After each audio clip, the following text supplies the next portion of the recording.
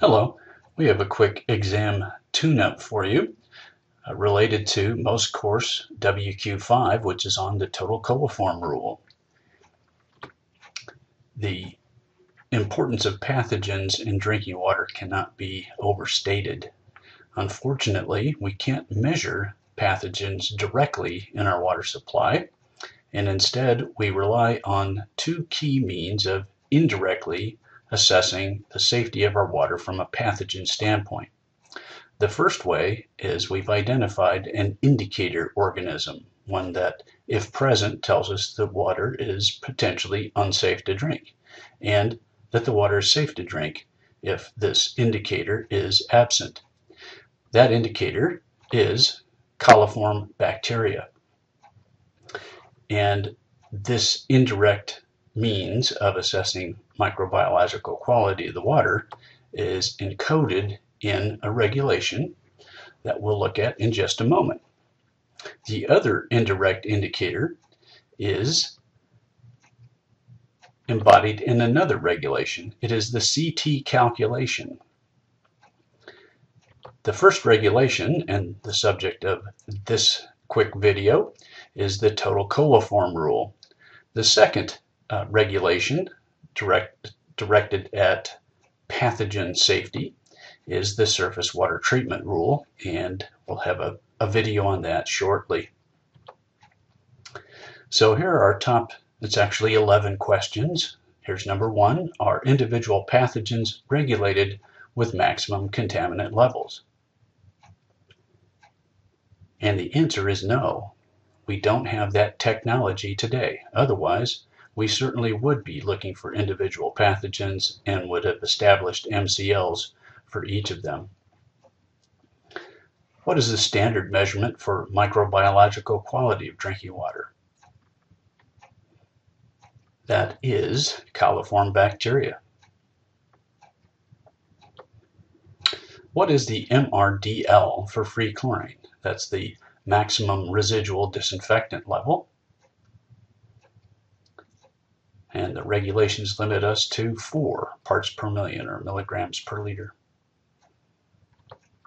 What is the most common bacteria found in the human intestine? That is E. coli, Escherichia coli. You've got approximately a trillion of them in your intestine right now. Uh, that's right, a trillion. What is the term for bacteria that can live with or without oxygen?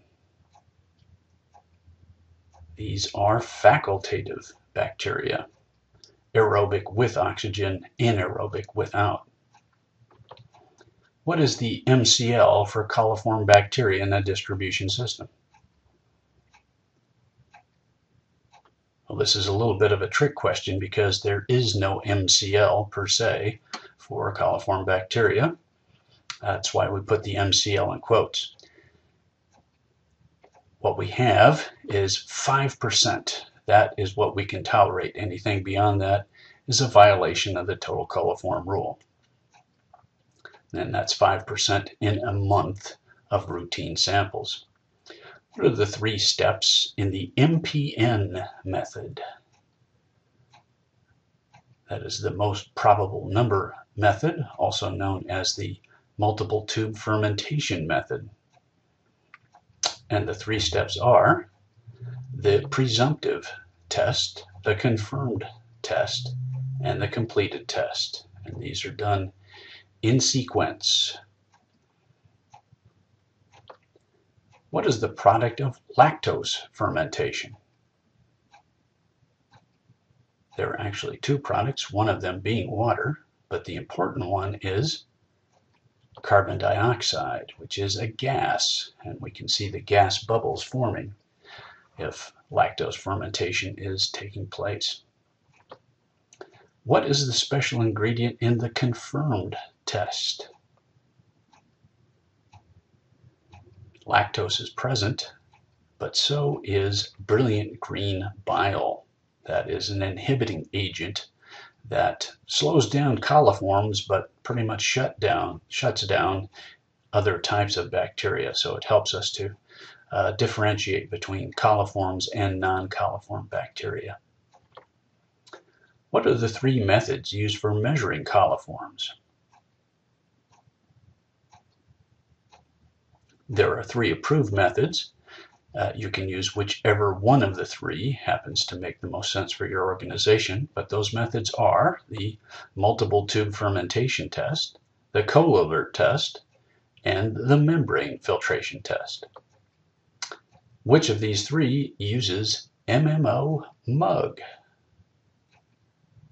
Well, that's the special ingredient in the Colilert test. It's what causes the uh, Colilert sample vial to turn yellow in the presence of uh, total coliform bacteria.